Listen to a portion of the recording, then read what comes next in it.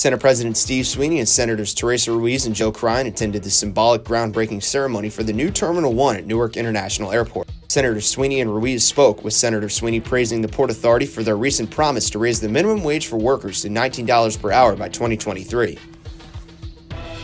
The Senate President and Senator Linda Greenstein visited Monroe Township High School and talked about fair funding for New Jersey schools with local leaders and school officials. As part of the fiscal year 2019 budget, Monroe Township schools received an additional $2 million in state aid compared to last year.